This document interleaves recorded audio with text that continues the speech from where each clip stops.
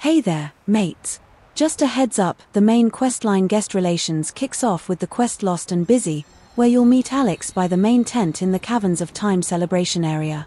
These first few quests act as a bit of a tutorial to reacquaint you with some classic tools from the original Secrets of Azeroth event. Once you've completed this part, head over to Maru by Leeroy Jenkins's food stall to turn it in. If you're on the hunt for more tips and clues, don't forget to hit subscribe so you don't miss any of our upcoming guides. Your support keeps us going strong. See you in the next adventure.